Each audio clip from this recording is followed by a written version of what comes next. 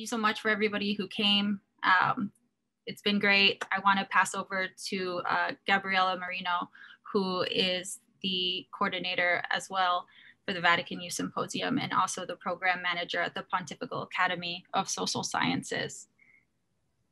Thank you so much, Kayla.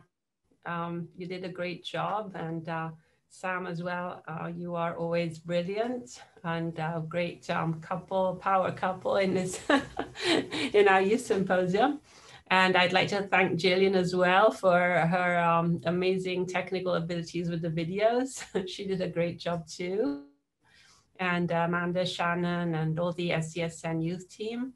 And um, I want to say that um, the Vatican Youth Symposium is so good. It's been enjoyable even on Zoom.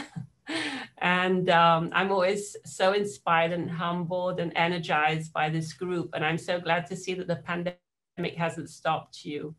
So here at the Academy, um, the, our um, main topics at the moment to focus on are the fight against human trafficking, which we've been um, leading since uh, the Pope gave us uh, these um, this mandate in 2013.